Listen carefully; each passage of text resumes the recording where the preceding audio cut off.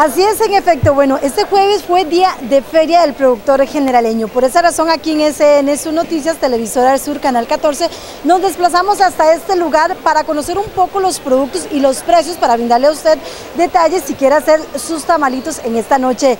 Bueno, estuvimos en algunos puestos conversando también con algunos de los vendedores y tratando de conversar también con algunos de los compradores que vienen a llevar productos precisamente para este platillo especial. Los tamales de cerdo, de pollo, como usted así lo tenga a bien. Por esa razón hicimos un sondeíto, estuvimos conversando con algunos de estos vendedores, por ejemplo, eh, casi todos los puestos, en muchísimos encontramos hojas ya asadas y los precios rondan entre los 700 y los 1000 colones aproximadamente para que usted lo tenga muy en cuenta. Otro producto que también se compra mucho es el chile.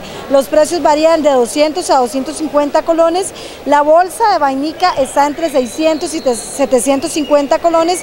El kilo de papa ronda los 800 eh, colones. La zanahoria también vale en promedio 600 colones el kilo. Hay personas que también compran el ajo para echárselo a la masa, entonces también se está vendiendo por acá, este, se puede comprar en unidades de hasta 200 colones. Hay parte de los productos que se están vendiendo durante este eh, día acá en la Feria del Productor Generaleño, indicarles que muchísimos de estos comerciantes, de estos vendedores, pues han informado que esos son días importantísimos, muchísimas personas acá en la feria del productor generaleño. Eso fue parte de las declaraciones que ellos nos brindaron sobre estos productos. Estos días es muy bueno para vender hojas para los tamales, porque la gente sí usa mucho lo que es como una tradición, digamos, de, los tamales de, de este tiempo. Sí, entonces para uno es una feria muy buena, digamos, porque sí hace eh, es como una, una vez al año, digamos, de una feria, pero bastante buena. Sí, los invitamos a que vengan aquí a comprar hojas, pues son de muy buena calidad. Sí, ya mucha gente las, las conoce porque son de varios años de vender. Sí, entonces... ¿Usted mismo las asa, las corta? Sí, claro, hay una ayudita de la familia, entonces ahí las alistamos y sí, ya eso es de varios años de, sí, de que las traemos a vender, sí. ¿Cuánto vale el kilo? Mm, ahorita está a mil colones el kilo, sí, pero son de muy buena calidad. Los precios están, bueno, yo pensaba que iba a estar muy caro y no, están como a 15 la, la java de Chile. Y la vainica está a 600 por mayor el, kilo. Y ya, el chile sale a 200, la unidad ahorita. Pero la java sale a 15, dámosle la caja. Y, pero está por mayor, digámoslo así, sale a 200 colones.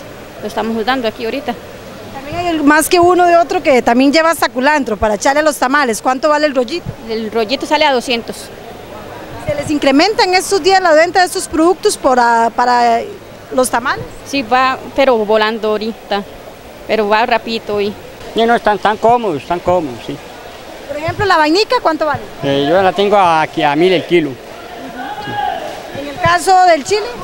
Eh, dos en 500, chile grande, bolsitas de 500 culantro? Eh, dos en 500. ¿El apio? Eh, depende de la mata, 500.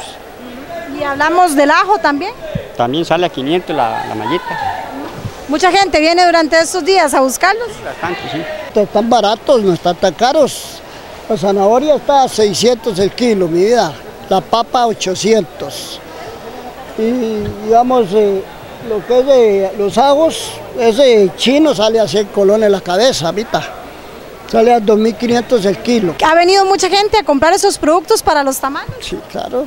Sí, hoy era un día especial para esto. Sí, porque la mayor parte de la gente anda detrás de las papas y las zanahorias, ¿verdad? Y los ajos, las hojitas y de todo anda, ¿verdad? Y ahí, ahí está, está saliendo bonito la hojita, sí. Sí, el precio es, bueno, yo la tengo a 700 colones kilo. ¿Y esas hojitas que usted mismo las asa? Cuénteme. Sí, la verdad es que un poco, no todas, ¿va? ¿Y en estos días como cuántos kilos venden en promedio? Bueno, yo tengo la fe, yo traía 115 kilos, tengo la fe de venderlos.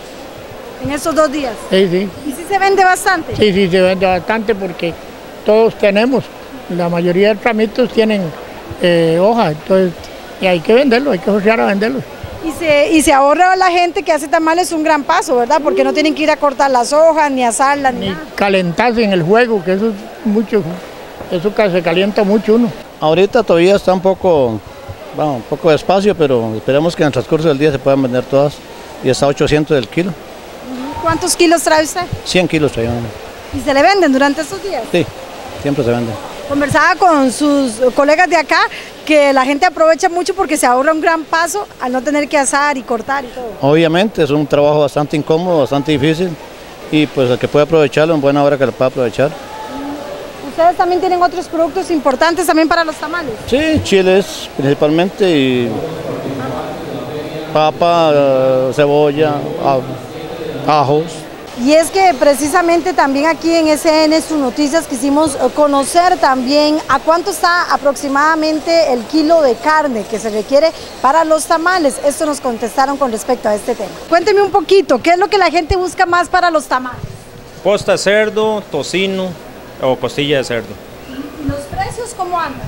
Bueno, y los precios yo ahorita los tengo, la posta 3000, costilla 3500 y el tocinito a 1000. Hay muchas personas que hasta buscan cabeza del cerdo. En esta ocasión también, ¿cuánto más o menos puede rondar una cabecita? Una cabecita de cerdo anda como en 4 mil pesos, sí.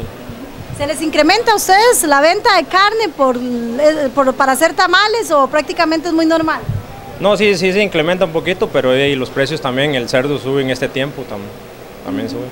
Pero es el que más busca la gente. Sí, y también para, para la parrilla, digamos, de bistec de res para la parrilla. Y también hay aquellas personas, como se los indicaba, que hacen sus tamalitos. Algunos lo compran, pero otros llegan a buscar sus productos. También conversamos con algunos de ellos. Si Dios me lo permite y la Santísima Virgen, porque primero ellos, compro las hojas aquí, porque me, me queda muy cómodo cortarlas allá en la finca.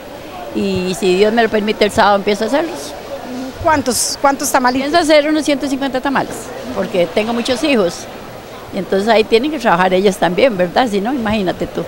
Aprovecha venir a la feria para conseguir hojas y productos como zanahoria y otros. Yo todo el tiempo tengo años desde que estaba la, allá por, donde estaba el cine Arelis, en ese tiempo he siempre he estado en la feria siempre he tratado de comprar porque aquí verdaderamente es más cómodo y venden mejor las cosas más ricas. Es importante que usted tome muy en cuenta que el lunes 24 y martes 25 de diciembre, además del lunes 31 y el martes 1 de enero, la Feria del Productor Generaleño estará completamente cerrada. Sin embargo, jueves y viernes, como es habitual, la feria acá se brindará con normalidad porque no coincide con las fechas de celebración, así que no hay ningún problema, se puede acercarse por acá para adquirir los diferentes productos como lo hace normalmente durante todas las semanas. Esta es la información que tenemos desde la feria del productor generaleño. Regresa al estudio con más información.